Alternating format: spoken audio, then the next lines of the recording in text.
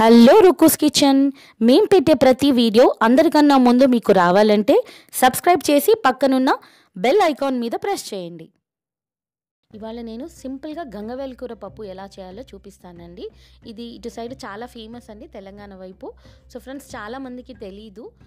So అందుకని ఇవాళ ఈ వెరైటీ పప్పు ఎలా చేయాలో చూపిస్తున్నానండి. సో ఫ్రెండ్స్ చూద్దామా ఎలా చేయాలో?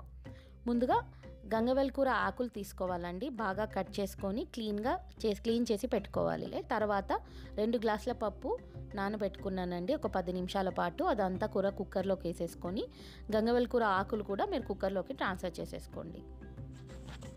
ఇలా చేసుకున్న తర్వాత ఉల్లిపాయ ముక్కలు పచ్చిమిరపకాయల ముక్కలు అలాగే పసుపు బాగా వేసేసుకొని సరిపడ ఎక్కువగా కూడా నీళ్ళు పోసుకోకండి. పొంగిపోతుంది అంతా నీళ్ళు వేసుకొని ఒక మూడు నుంచి నాలుగు విజుల పాటు ఉడికించేసుకోండి. సో పప్పు ఉడికిపోయిందండి. చూసారా ఎలా ఉడికిపోయిందో పప్పు అంతా కూడా కలిగి పెట్టుకొని ఇప్పుడు పోపు పెట్టుకోవాలండి పప్పులో.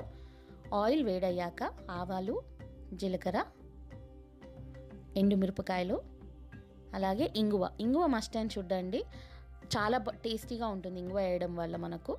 కరివేపాకు పసుపు ఉప్పు. సరిపడా ఉప్పు పప్పుకి ఎంత సరిపోతుందో చూసుకొని వేసేసుకోండి. అలాగే కారం మనం పచ్చిమిరపకాయలు కూడా వేసామండి. ఎండు కారం కూడా వేస్తేనే రుచిగా ఉంటుంది. అందుకని అది సగం ఇది సగం చూసి వేసుకోండి మీరు. ఇందాక ఉడికించి పెట్టుకున్న పప్పు కూడా యాడ్ చేసేసుకోండి. ఆ పోపులోకి. బాగా కలిపి పెట్టుకొని కొంచెం చింతపండు రసం పిండేసుకోండి. ముందుగానే నానబెట్టి పెట్టుకున్నాను. చింతపండు రసం వేయడం వల్ల చాలా టేస్టీగా ఉంటుందండి. మామిడికాయల సీజన్లో అయితే మామిడికాయలు వేస్తారు. నేను అది కూడా చూపిస్తానండి. ఆ పప్పు కూడా చాలా టేస్టీగా ఉంటుంది పప్పు. సో కొత్తిమీర వేసేసి ఒక రెండు మూడు నిమిషాల పాటు బాగా కుతుకుతులాడేలా ఉడికించుకోవాలండి పప్పు. ఎందుకంటే చింతపండు రసం వేసాం కదా. సో అప్పుడే ఉడికితేనే మనకు టేస్ట్ వస్తుంది. సో వేడి వేడి కూర పప్పు రెడీ అయిపోయిందండి.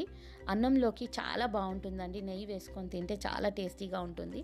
సో ఫ్రెండ్స్ మీరు కూడా ట్రై చేయండి. ఎలా వచ్చిందో కామెంట్ సెక్షన్లో పెట్టండి. మీకు కనుక ఈ వీడియో నచ్చినట్టయితే లైక్ చేసి షేర్ చేయండి. And thank you for watching అండి.